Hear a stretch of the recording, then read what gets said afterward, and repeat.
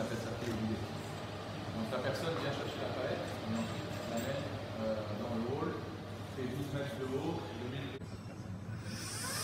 Très très cher, et là comme c'est des rotations qui ne sont pas euh, énormes, euh, avec une personne,